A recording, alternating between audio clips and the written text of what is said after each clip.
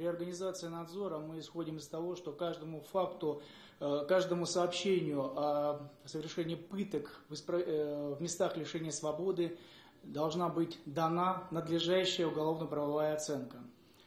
По всем подобным фактам проводятся процессуальные проверки, возбуждаются и расследуются уголовные дела.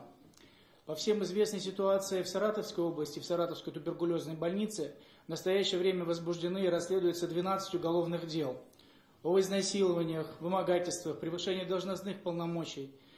Ряду лиц уже предъявлены соответствующие обвинения. Генеральная прокуратура контролирует расследование этих уголовных дел. Эту тему э, я уже затронул в своем докладе. И могу вам сказать, что проблема насилия в учреждениях, в подобных учреждениях, она не теряет свою актуальность вот уже много лет.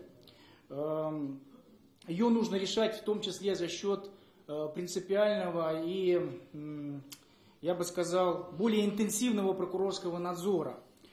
В связи с чем я считаю важным вам сообщить, что примерно две недели назад я дал поручение своим э, подчиненным пересмотреть и изменить подходы в организации надзора в этой сфере.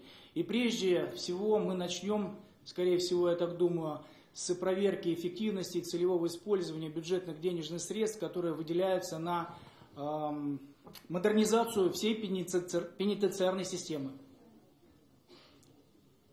Спасибо.